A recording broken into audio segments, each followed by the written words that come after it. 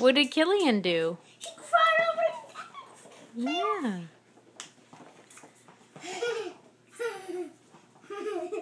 Hi, I'm a penguin.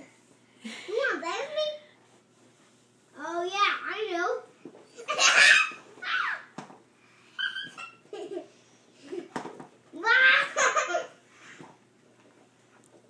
Want to play with me? You try moving the penguin back and see if she'll come get it.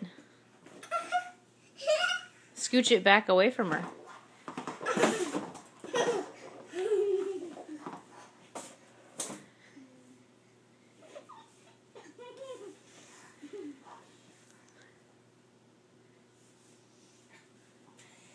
Cartoon cartoon. she got it, Mama. Look at that. No. Careful, please.